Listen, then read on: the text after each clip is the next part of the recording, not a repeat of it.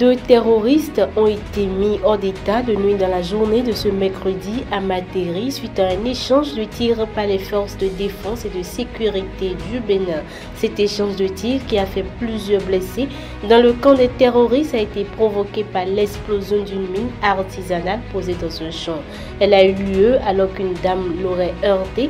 Par Mégade a été gravement blessé. Aucun dégât n'a été enregistré du côté des forces de défense et de sécurité.